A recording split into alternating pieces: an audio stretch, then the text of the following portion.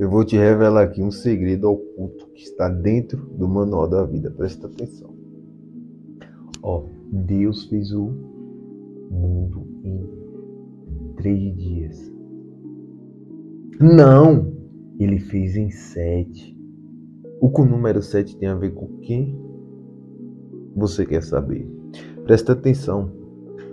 Literalmente no universo, os números têm poderes espirituais. Então Deus fez o mundo em sete dias. Então teste hoje fazer jejum todos os dias de manhã, 30 minutos apenas por sete dias, em prol dessa sua benção, em prol desse seu trabalho. Comece assim, ó Pai, eu abro esse jejum agora por 30 minutos para abrir as portas do meu trabalho. E quando for entregar